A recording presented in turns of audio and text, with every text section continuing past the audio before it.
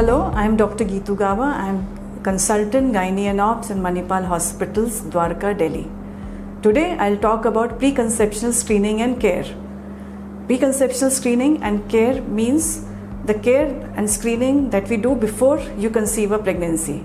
So all couples who are planning a pregnancy should undergo this preconceptional screening.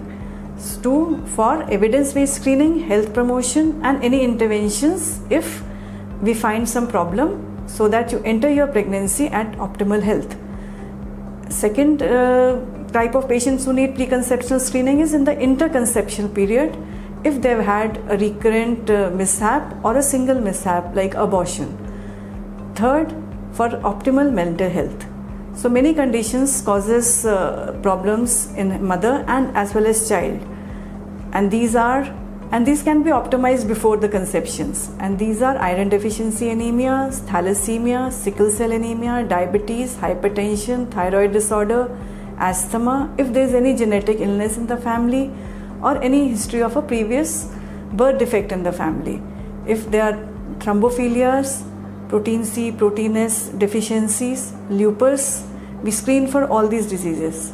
Along with this, we also screen for STDs like syphilis, and also for certain diseases like uh, hepatitis B and C and HIV.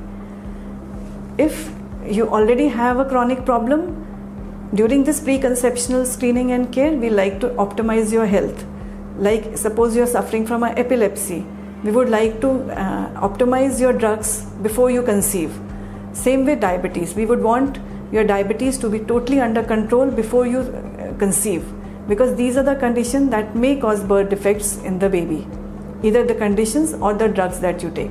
Certain dermatological conditions like acne, the drugs that are given are teratogenic to the baby, that is, they call birth defects. So, we like you to come, come to us and we like to stop these drugs before you undergo pregnancy. Uh, we also screen for certain infections which are very, very uh, inconsequential in mother but to the baby they are very harmful. So one such infection is rubella. So if the rubella antibiotics that is IgG are positive then that's very good but if not we would like you to take a vaccination for rubella so that you can form antibodies and the baby is protected from rubella. Also some vaccines like hepatitis and an influenza vaccine are also given during your preconception screening. So the main aim is to optimize your health provide evidence based screening, and make sure that you are entering your pregnancy in optimal health. Thank you.